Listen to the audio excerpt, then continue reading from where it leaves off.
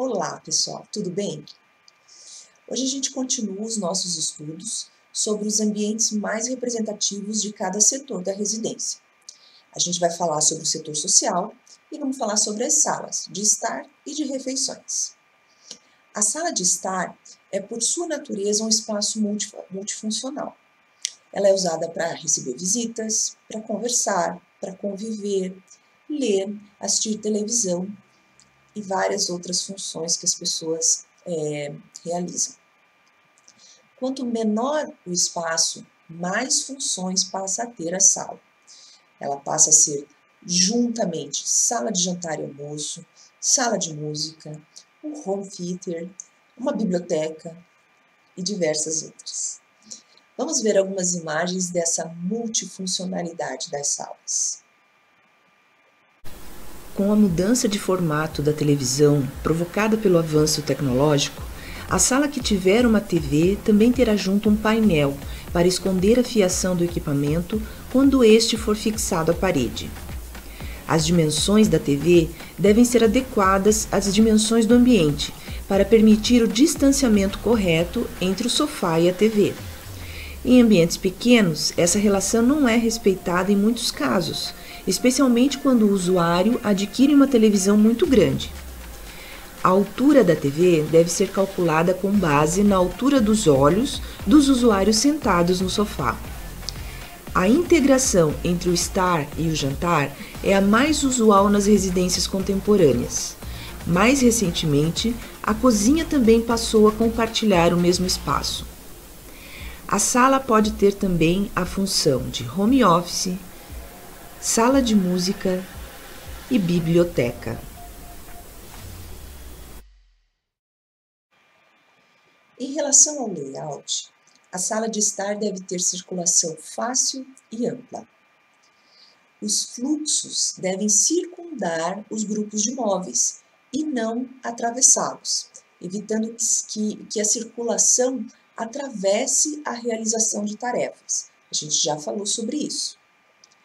Móveis que tenham função específica, como o móvel que vai acomodar a TV, ou o computador, o aparelho de som, devem ser tratados de modo que permitam a sua utilização confortavelmente, não conflitando com os demais usos do espaço.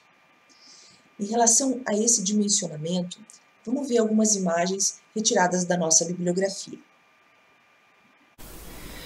O sofá normalmente é comprado pronto pelo usuário Porém, as variações de medidas disponíveis no mercado exigem que o projetista saiba dimensioná-lo de acordo com o espaço disponível.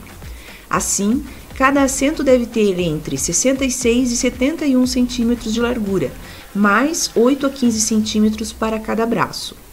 A profundidade do assento pode ser igual à largura, tomando-se o cuidado de colocar almofadas que permitam aos usuários mais baixos utilizá-las como complemento ao encosto.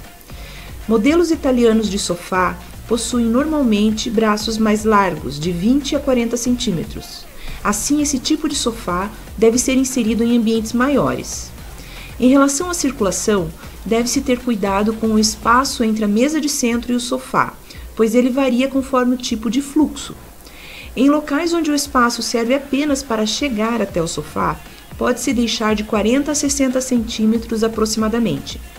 Essa distância confortável para a conversação e para pegar objetos sobre a mesa de centro, como controles remotos ou xícaras. Essa medida pode ser usada, inclusive, para dimensionar a mesa de centro mais adequada para o espaço. Porém, mesas muito pequenas podem ter sua função comprometida, podendo ser eliminadas. Em locais onde a distância entre a mesa de centro e o sofá também é uma passagem para outro ambiente, a circulação deve ser de 70 a 90 centímetros. A altura da mesa de centro deve ser menor que a altura do sofá, variando entre 30 e 40 centímetros.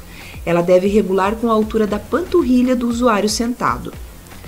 Deve-se tomar cuidado com as mesas de centro espelhadas, pois elas podem provocar constrangimentos em usuários de saia.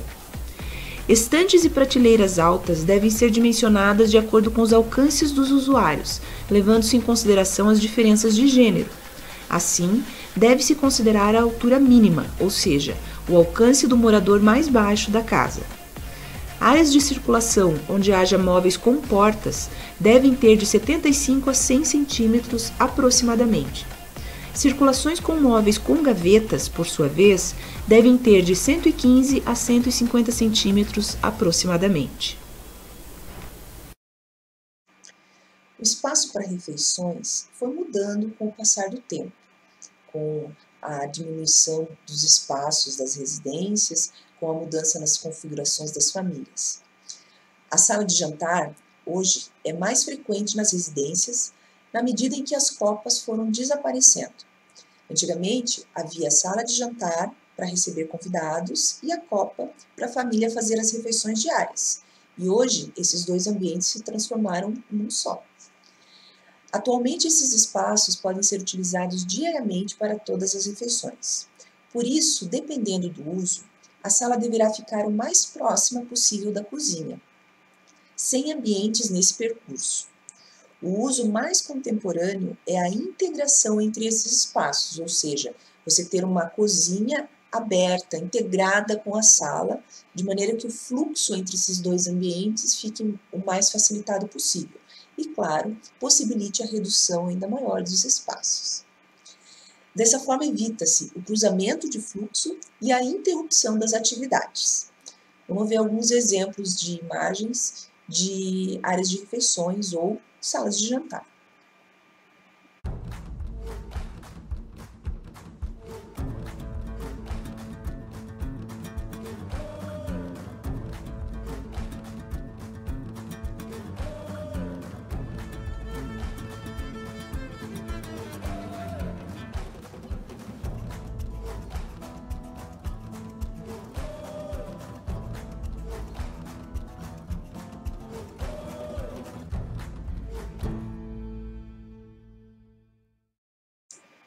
O dimensionamento das mesas possui algumas regras fundamentadas na antropometria.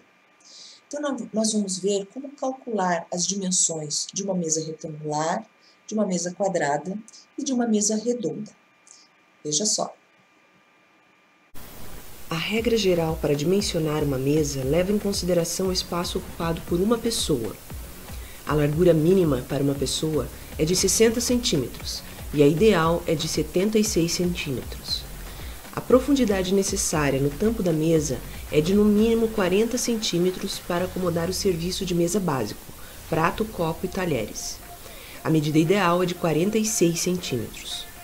Utilizando essas medidas, as dimensões mínimas para uma área de refeição para duas pessoas seria de 120 centímetros de largura por 40 centímetros de profundidade, se elas estiverem sentadas lado a lado, como acontece nas bancadas para refeições rápidas, muito comuns nas cozinhas atuais.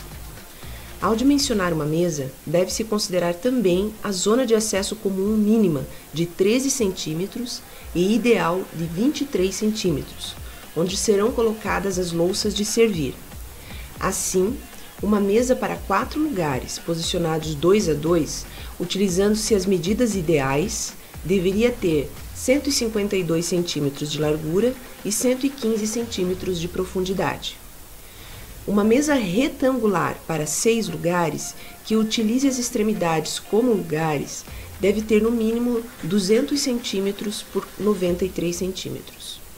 No entanto, é possível encontrar no mercado mesas para seis lugares menores que isso. A mesa redonda para quatro lugares deve ter 120 centímetros de diâmetro aproximadamente. Para ampliar o número de lugares, deve-se considerar o espaço necessário por pessoa, semelhante à mesa retangular. Assim, uma mesa redonda para cinco lugares deve ter 150 centímetros de diâmetro e para seis lugares deve ter 180 centímetros de diâmetro. Novamente, encontram-se no mercado dimensões menores para o número de lugares. A mesa quadrada para quatro lugares deve ter no mínimo 90 centímetros de lado. São muito comuns atualmente as mesas quadradas para oito lugares. Nesse caso, deve-se seguir a regra das mesas retangulares, com 60 por 40 centímetros no mínimo por pessoa. Desta forma, a mesa ficaria com 200 centímetros de lado no mínimo e nesse caso também é possível encontrar mesas menores no mercado. A altura de uma mesa de refeições deve ter de 73 a 76 centímetros. Deve-se ter cuidado com a altura da luminária posicionada sobre a mesa, para que não atrapalhe a visão das pessoas. O espaço ideal para uma cadeira é de 60 centímetros, mas pode ser de no mínimo 45 centímetros, que é o tamanho da própria cadeira. A gente viu nessa aula que multifuncionalidade e aproveitamento de espaços são características importantes para os, os ambientes do setor social. É, na aula de hoje, a gente utilizou como referência o livro Dimensionamento Humano para Espaços Interiores, do Júlio Spaneiro. E encerramos por aqui. Até a próxima aula. Tchau, tchau.